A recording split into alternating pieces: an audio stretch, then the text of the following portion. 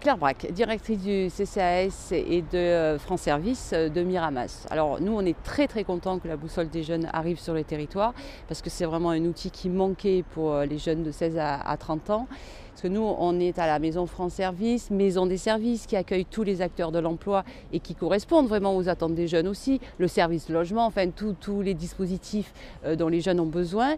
Sauf que les jeunes ne se sentent pas bien à la maison des services. C'est vrai, c'est pas l'endroit où ils, ont, sont tentés d'aller euh, directement parce qu'ils considèrent que c'est plutôt une maison différente, euh, en tout cas pas pour eux.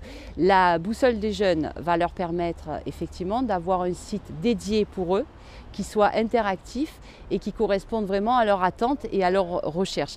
L'avantage qu'on a aussi, c'est que sur cette boussole des jeunes, ils trouveront tous les services qui existent à la maison des services et on pourra relayer. Donc ça, c'est vraiment euh, le côté important. Aujourd'hui, quand ils arrivent pour euh, une certaine problématique, on leur dit allez prendre rendez-vous euh, au CCAS, etc. ils ne viennent pas. Là, on pourra rebondir sur la boussole des jeunes et par la boussole des jeunes, ils pourront venir dans nos services et avoir, être accueillis et avoir tous les services dont ils ont besoin pour leur quotidien.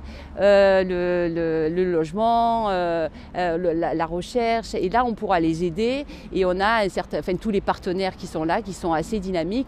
On a France Service et le conseiller numérique qui peut aussi euh, proposer des ateliers numériques quand euh, euh, ça sera nécessaire. En tout cas, on fera avec le, lien avec tout, ce pôle jeunesse de la ville qui nous permettra vraiment d'être dynamique.